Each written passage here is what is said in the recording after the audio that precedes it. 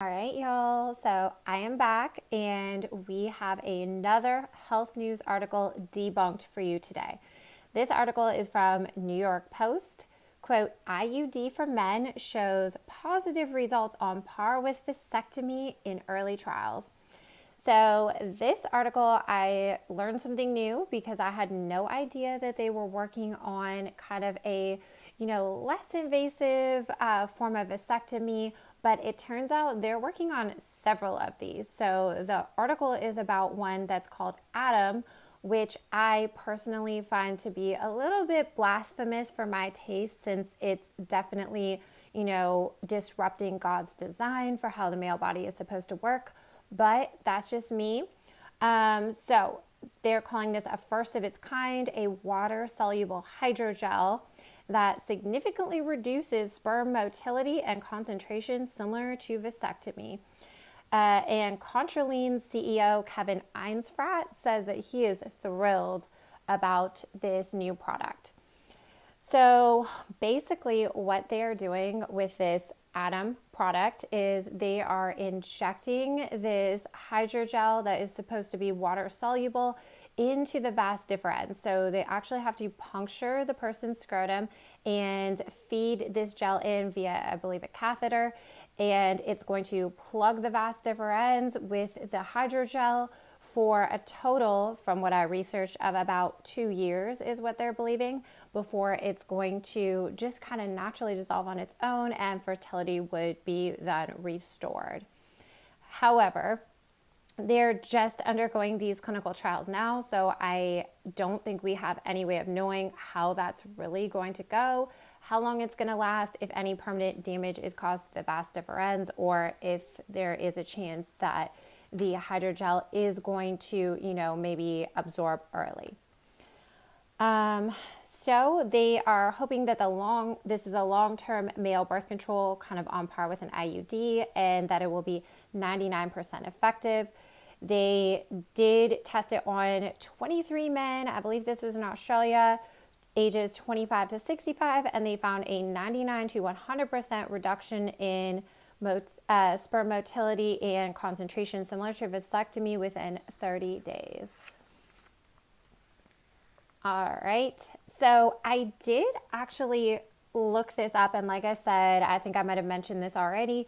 They're working on several other different types of, you know, hydrogels or like one I think is kind of like a plug inserted into the vas deferens.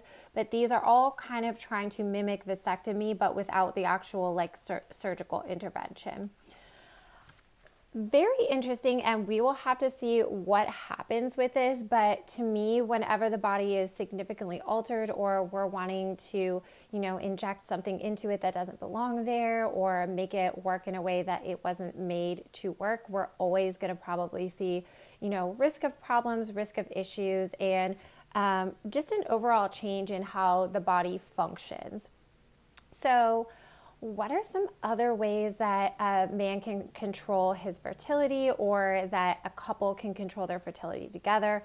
Um, I'm going to talk to you all about a few. So, number one, we of course have abstinence. I know this one's not popular, but if you aren't looking to have a baby, then you know sometimes abstinence can be the best route to go. Um, number two, we have um, another option that also, like abstinence, protects you from not just pregnancy, but um, also things like STIs, STDs, and that would be using condoms.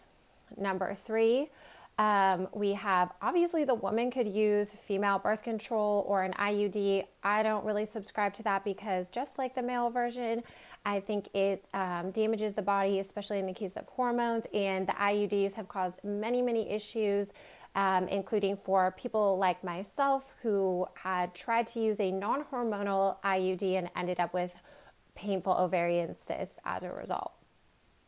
Um, so, number four is a great method that we can look at, which is the, um, the counting and the tracking the ovulation method. Uh, coupled with you know abstinence when the woman is ovulating or you can even pair this with like you know say the pull out method so that would mimic what is more natural, a more natural design. It goes in line with your physiology. No one's being sur- surgically altered or altered in, um, you know, a hormonal way or anything like that. So that will probably be my best uh, recommendation for what is safest for preserving the body overall will still be able to enjoy sexual relationships with your partner. But like I said, if we go back to number one, it's always important that you have to keep in mind, you know, these relationships can result in a baby. And if there's a case of lack of trust, they could result in STD. So you always want to make the choice that is best suited for yourself. Um, but yeah, I found this article pretty interesting.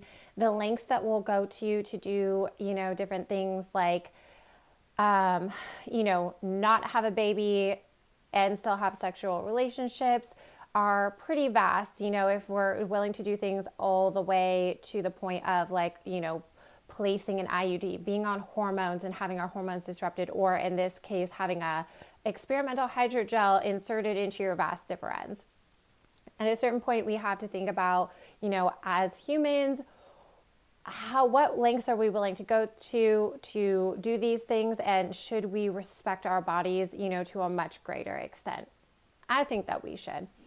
Um, but i found i did find this article interesting and i'm hoping that there aren't too many long-term effects. I also hope that they don't start to market it with this idea that it's going to not have long-term effects, be totally fine, and then men end up with, you know, a secondary infertility later because it doesn't actually reverse the way that they want it to, or because some people get scarring or some type of other issue with their vas deferens. And um, that could even become a case where would they need like a surgical procedure to then go in and clear it out. We just don't know. This is a new technology. Um, but I hope you all found this video helpful. I hope you found it interesting. Always, always, always take in mind whenever you choose a medical product, medical procedure, surgical intervention, anything like that, the downsides, the possible downsides, and what can happen to you if you, you know, choose to do something and maybe they didn't fully explain the possible. Um, you know, adverse outcomes, adverse risks, or maybe they don't even know them yet. But we always want to kind of search our mind and think about like what are these scenarios that can happen and then decide what we can live with before we allow ourselves to be kind of pushed or um, you know, like sold on one of these new, especially new medical interventions. Um, all right, so hope you all, like I said, found this video helpful. If so, please go ahead and hit subscribe and give this video a like. And if you have any other health topics you'd like me to talk about or videos, please feel free to reach out to me over on Instagram or Twitter. Otherwise, I will be back with more health news soon. Have a fantastic day.